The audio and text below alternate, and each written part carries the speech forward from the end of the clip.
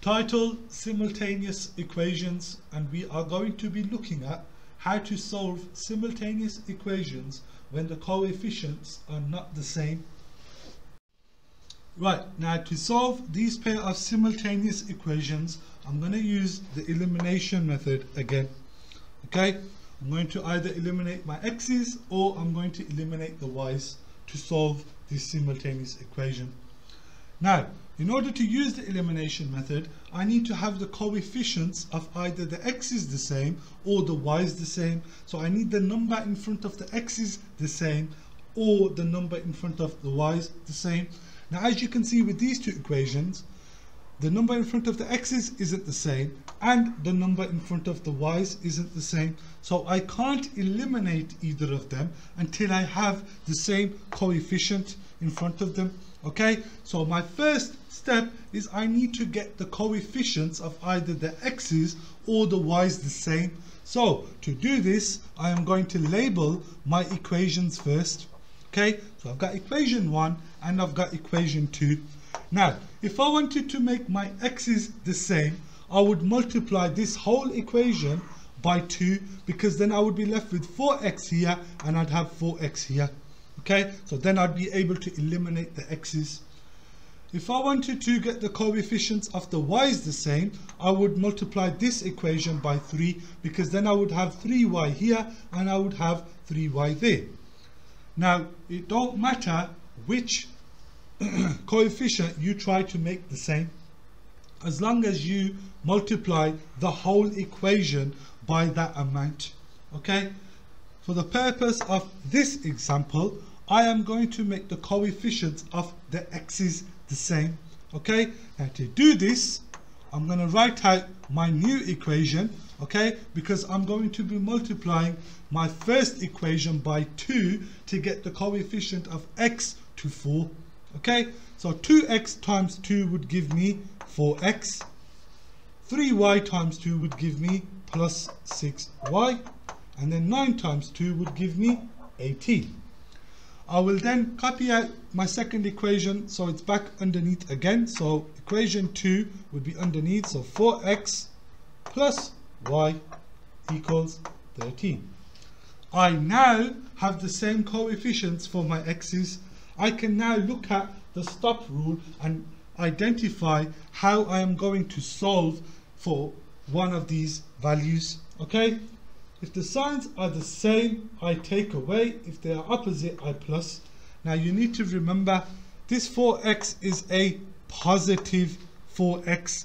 Okay, so the signs are the same. Therefore, I am going to take away.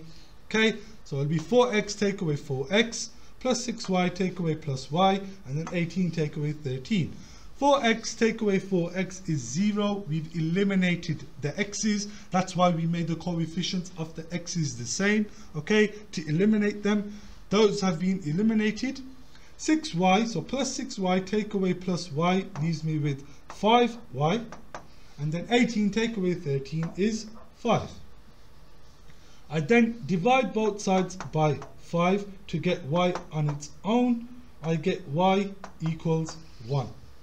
I've now worked out the value for one of the two that I need to get my value for. I've got my y's. I need to now work out the value of x. So I'm going to substitute back into one of these equations. Okay. I'm going to substitute back into equation number two because the y value is on its own and it looks easier. Okay, so write the equation out again. 4x plus y equals 13. I know this y value here is 1. I've just worked that right. So I will then have 4x plus 1 equals 13. And then I will solve it like a normal two-step equation. Take one of both sides. 4x equals 12. Divide both sides by 4. x equals 3. Okay. To double check that I have done all these steps correctly, I will substitute both values back into equation 1. Okay, so I'll write the equation out again. I've got 2x plus 3y equals 9. I know that x is 3. I've just worked that out. And I know that y is 1. Okay, so x is 3. Therefore, this will be 2x. So 2 times 3. Therefore, 6. Uh, this will be add 3 times 1. So because y is 1. So 3 times 1 is 3. 6 add 3, does it equal 9? Yes, it does. Therefore, our values are correct. I want you to copy this example out before you move on to the next example. Okay, now to solve these pair of simultaneous equations, I'm going to be using the elimination method again. Now to use the elimination method, I need the same coefficient in front of either my x's or my y's. Again, this question, the coefficients are different. So I'm going to get my coefficients the same for either the x or the y first before I eliminate one of them. Okay, so I will label my equations again, 1 and 2. And then I decide whether I want to make the coefficients of the x's the same or whether I want to make the coefficients of the y's the same. Okay, I'm going to choose to make the coefficients of the y's the same. Okay, so I am going to copy out equation 1 again because that one's at the top. So x minus 2y equals minus 4. And then equation 2, I am going to times it by 2 because I'm trying to get the coefficients of the y's the same. Okay, so I need to times this one by 2 to get 2y. But I need to times the whole equation by 2.